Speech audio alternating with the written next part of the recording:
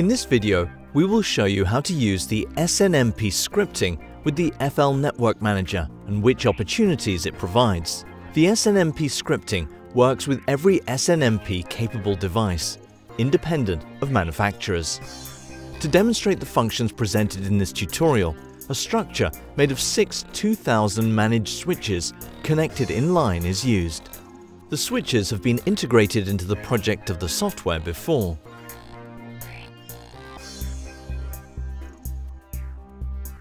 To be able to use SNMP scripting, please select the Scripts tab in the Components section first, and then create a new script module via right-click. To open the created script, please double-click it.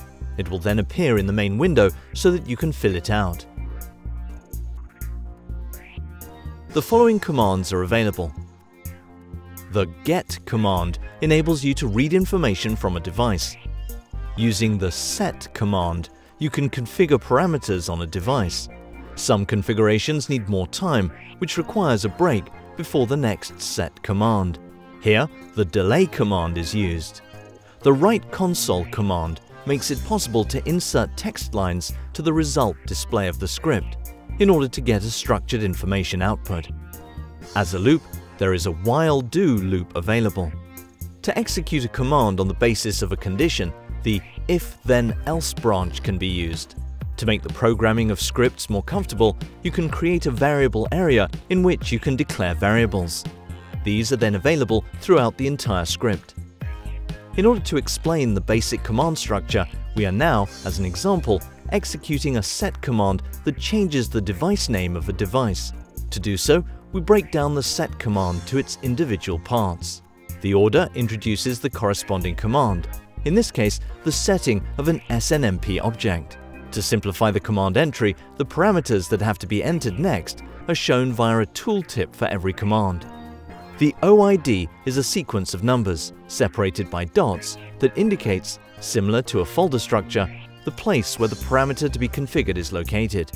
The necessary OIDs can be found in the corresponding MIB file of the respective device.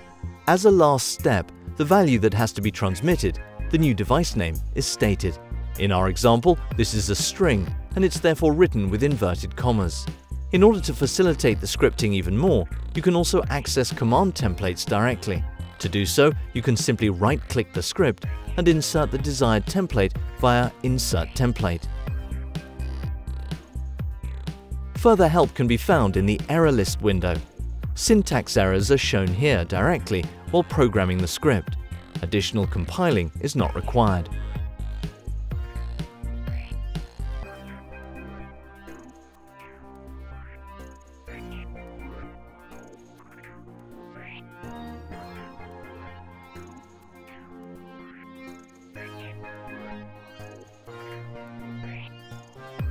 A finished script can now be used on several devices.